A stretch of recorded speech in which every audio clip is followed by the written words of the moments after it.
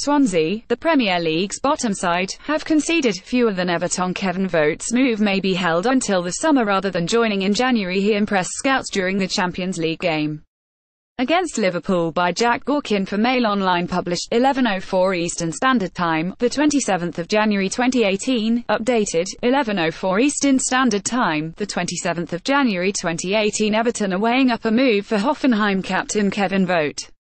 Sam Allardyce wants fresh defensive options given Everton's fragility at the back and the club have identified the 26-year-old as a potential signing.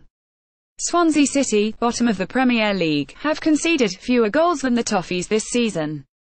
Everton are considering a move for Hoffenheim captain Kevin Vogt over the next two windows. Sports Mail understands Vogt is on the radar, although interest is believed to be with a view to a summer switch.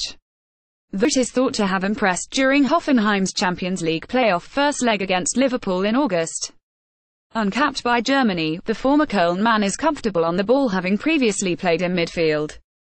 Vogt, pictured playing against Bayern Munich on Saturday, is yet to be capped by Germany.